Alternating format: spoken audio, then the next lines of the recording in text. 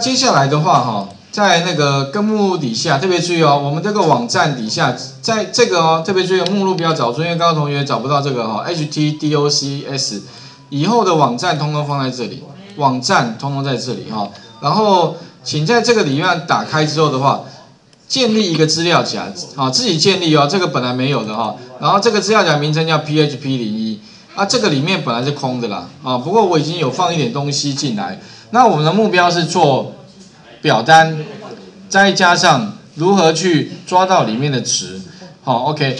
那首先特别注意哈，因为往后我们要用的开发工具是那个 Adobe 的那个 Dreamweaver，所以哈，你们要先把那个 Dreamweaver 先叫出来。那它这个设定还蛮麻烦的，其实 Dreamweaver 虽然操作起来很简单，可是哈，它的那个设定非常的麻烦。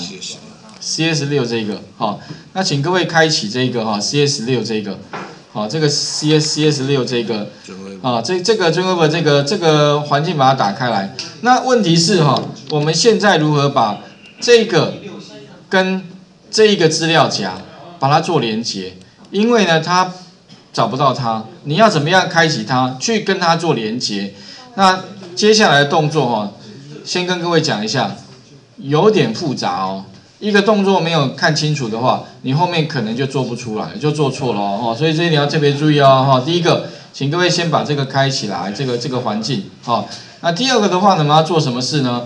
把它开起来之后哈，那接下来，OK，这个哦，好，开起来之后的话，再来的话哈，我们要特别注意哦，在 Dreamweaver 的观念里面哈，你不是用档案的观念在做网页，而是。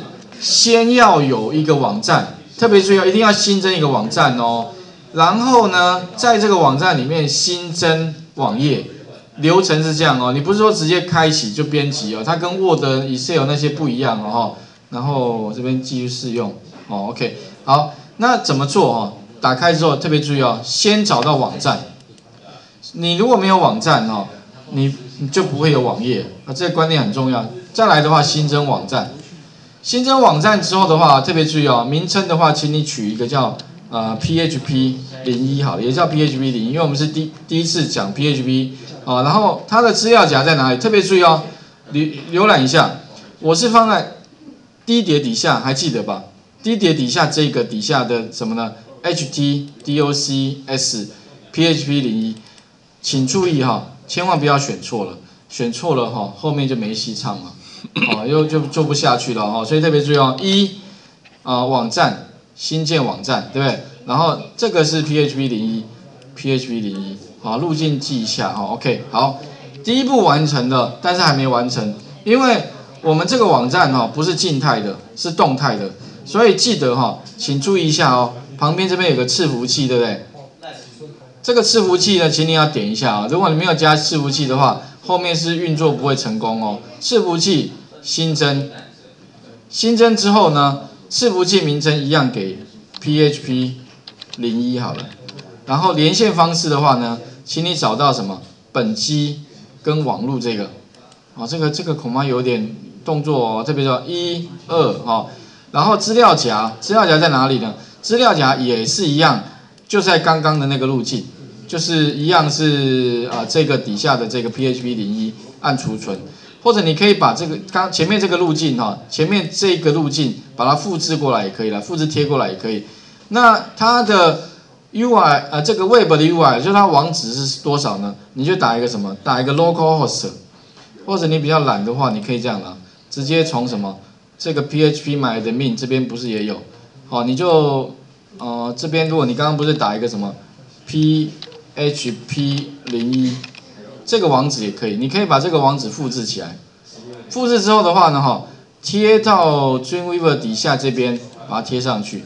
也就是说，以后哈，这个资料夹，这个资料夹里面的东西，它会对应到的网址就是这一个。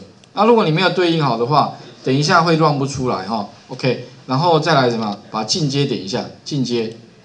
进阶里面呢，他问你说测试伺服器是哪一种模式，请你选择哪一种呢？PHP MySQL，OK，好，这边要选一下。如果你没选的话，到时候呢，它不会按照 PHP MySQL 模式来来做修改，啊，记得这边改一下。好，这样就完成了。我们按储存，基本，进阶，啊，基本跟进阶按储存。储存之后的话呢，记得把测试打勾，远端打勾取消，测试而已，哈，因为我们测试的时候可以利用它来做一些测试。好，按储存，储存之后的话呢，我们的网站就建立起来了。那你可以看到呢，在你的右下角的地方，这个面板哈可以拉上来哈，里面呢就会有一个网站出现了。不过哈，我因为我已经放了几个网页进去，啊，你们是没有的哦，因为你们还没开始。所以理论上你们这边是空的，那我等一下会教各位怎么样新增网页进来，你可以开新档案直接存进来，哈，OK 那画面呢先还给各位一下，好试一下哦，哦，新增网站哦，来把画面还给各位一下哦。